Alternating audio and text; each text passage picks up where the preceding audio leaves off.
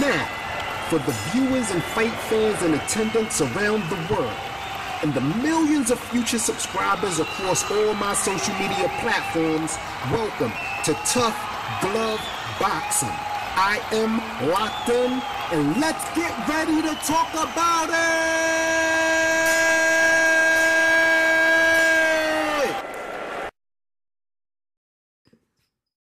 What's good, everybody? I'm locked in. Welcome to another episode of Tough Glove Boxing. Go ahead and hit that like button for me, hit that subscribe button for me, and we're going to jump right into the content. So, this past Saturday night, Arthur Beterbiev put the absolute beat down on Joe Smith Jr. I had actually picked Joe Smith Jr. to win that fight. I thought he would bring him to get him past a certain amount of rounds and take advantage um, as he slowed down. But I'm going to be honest. I'm not going to, as far as the light heavyweight division goes, the only person that could even give Arthur Beterbiev a challenge, in my opinion, no disrespect to Anthony Yarde, but the only person that can give Arthur Beterbiev a challenge is Dimitri Bivol. And I'm going to tell you why I say that. Yes, Anthony Yarde is a great fighter, right? Joe Smith Jr., I would like to see him fight Joe Smith Jr. actually before he fights Better Beterbiev. I think that would be actually best for him. And then let Better Beterbiev fight Dimitri Bivol for Undisputed. Here's why. Um, so right now Arthur Better Beterbiev is 18 wins, uh, 18 knockouts, 100% knockout ratio. Record is still unfazed.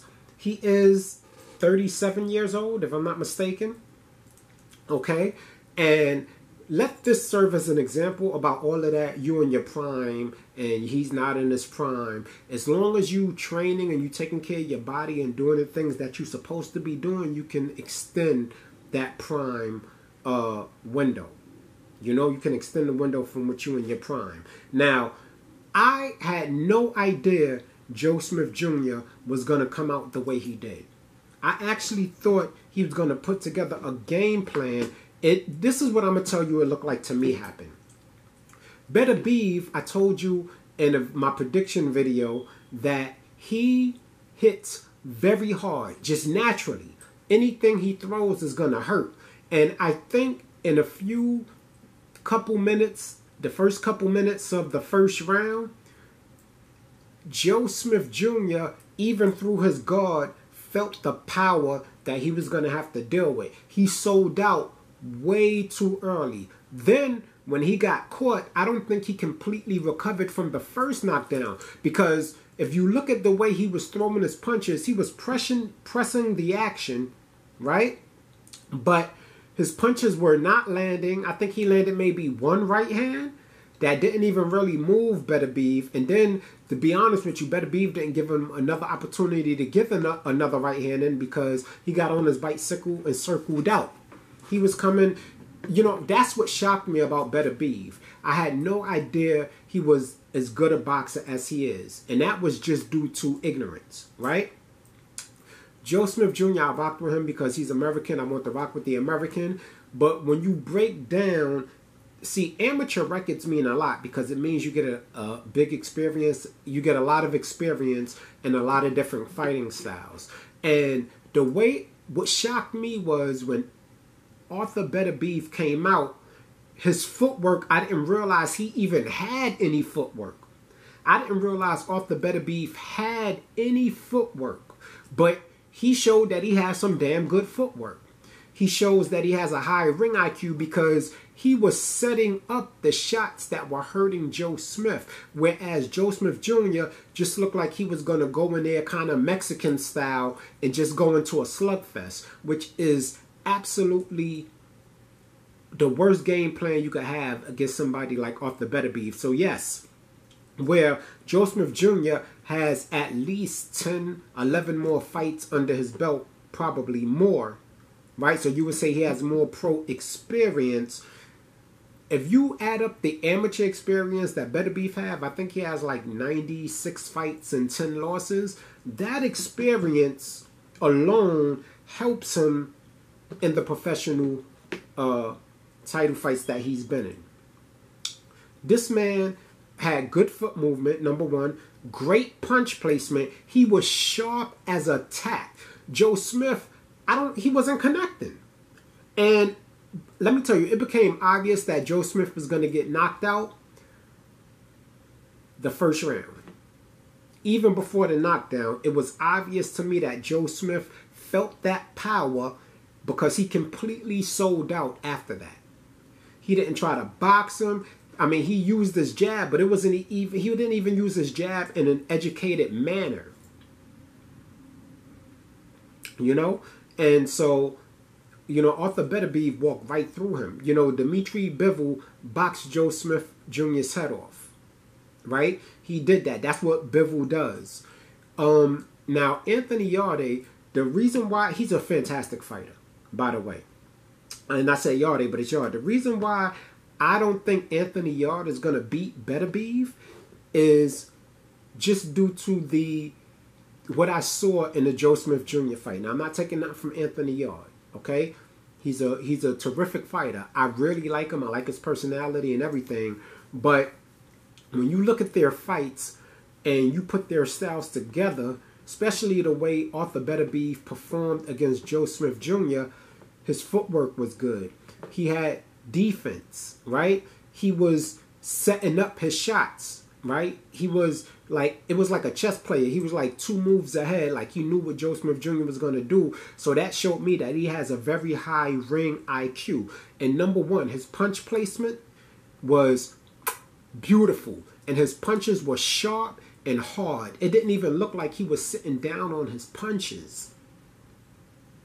It didn't even look like he was sitting down on his punches. And I think Yarde is going to have to box him. Yarde is going to give him some problems, but I think once he figures Yarde out, you know, he's going to press him. And if Yarde can't get his respect very early in the fight, if Yarde doesn't hit him with a punch that says, wow, okay, I think I might have to box this one out, he's going to get ran over as well. It's going to be, and Yarde likes to fight. So I don't know how long he's going to do that boxing stuff before he he comes and starts applying his own pressure. Now Yarde is defensively responsible. I'll give him that. But when you have a man that can hurt you through your guard, that's intimidating.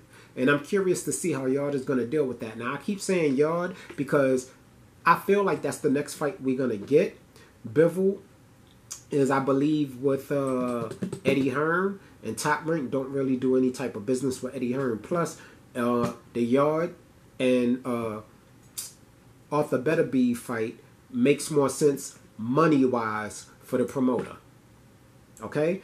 Though the best fight, the most exciting fight that everybody wants to see now is they want to see the light heavyweight uh, division undisputed. They want to have their undisputed champion. And I know right now Arthur Beterbiev has three of the belts, but I don't think he's going to just be able to do to Dimitri Bivol. And I'm not talking about what Dimitri Bivol did to Canelo. Forget about that.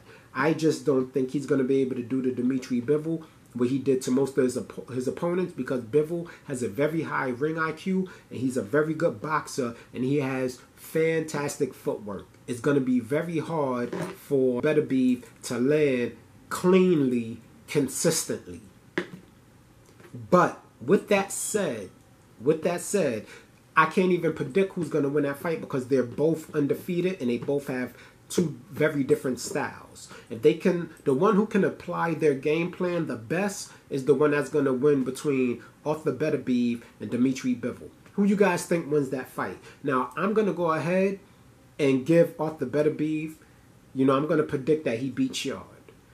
I, it's going to be a good fight. It's going to be exciting, but I really think that I don't think Yarde is going to be able to have the experience that is going to take to beat somebody like Beterbiev.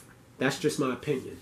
The um, this man right here, he's a beast, an absolute beast. And the thing that shocked me is I knew he was strong. I knew he was durable. I really didn't expect him when he came out. He started off with his foot footwork, and that was the first thing that threw me for a loop. I'm like, wait a minute, I'm not used to seeing that. So he was expecting Joe Smith to come forward. He set Joe Smith Jr. up brilliantly, brilliantly, and made that fight look so easy.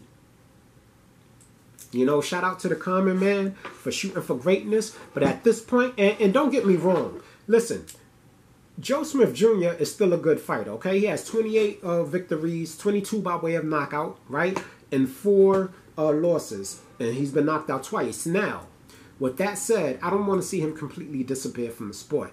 I mean, it's it's already been proven that he can't compete at the elite level in that division. But what he will make is a very good gatekeeper.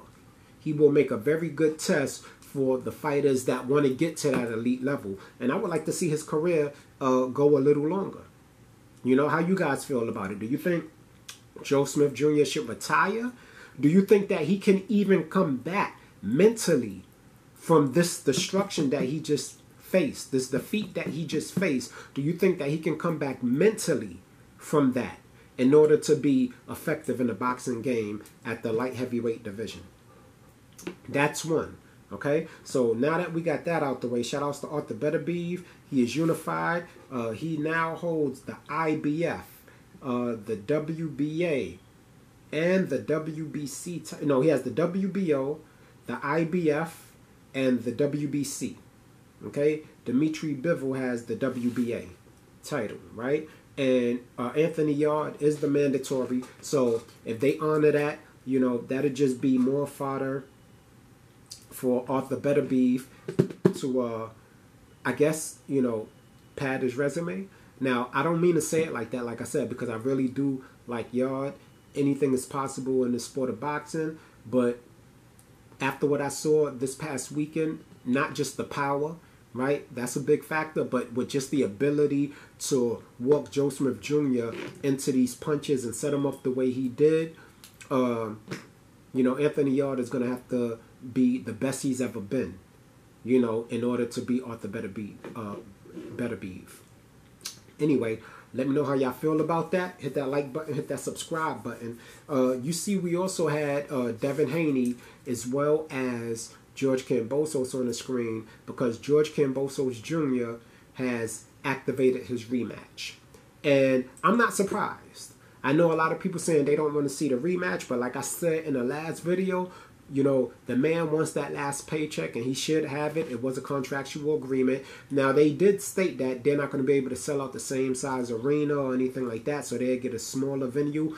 I think George Ferocious Kambosos Jr. should be the bigger man and let, you know, let the rematch happen in America, but I doubt that's going to happen. So Devin Haney's going to have to whoop on him again uh, in a rematch, and I don't see anything he can do differently. The only reason why I say that is because even if he changes up his game plan, he fights how he fights. The same way you saw him in the last fight with Devin Haney is the same way you saw him with Teofimo Lopez in his previous fights. Now, with that said, like I said before, Devin Haney didn't even expose all of his weapons in that first fight. He just did what was needed to become undisputed. So I think that if Ferocious George Kambosos Jr. comes in and thinks that he's gonna just press harder, he's he's gonna end up probably getting stopped in that rematch. And I think that will probably be a goal for Devin Haney so he can send a message to the light uh, weight division. Listen, it's not just about boxing skills. I will hurt you. Right? And that's my opinion on that. So shout out to Beterbiev. Shout out to Joe Smith Jr. Like I said, I got any, I got more, resp- I got respect for any man that steps into a boxing ring. They're doing something that I can't do, so I'm not gonna sit here and break them down. But my final question is, who do you guys think wins, Arthur Beterbiev or Dmitry Bivol? Because I don't think that fight is just so easy to call. I know it's easy to fall into the trance of Arthur Beterbiev because he's 18 wins, 18 knockouts, the only 100% knockout rate we have in boxing right now. And Dmitry Bivol is also undefeated. And I just, you know, I just don't feel like he's going to allow Beterbiev to hit him more than one time.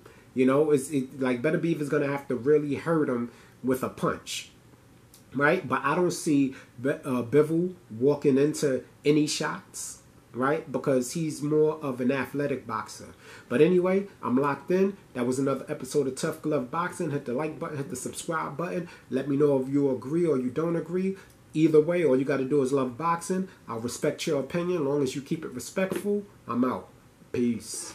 You ain't gotta go home, but you gotta get the hell up out of here.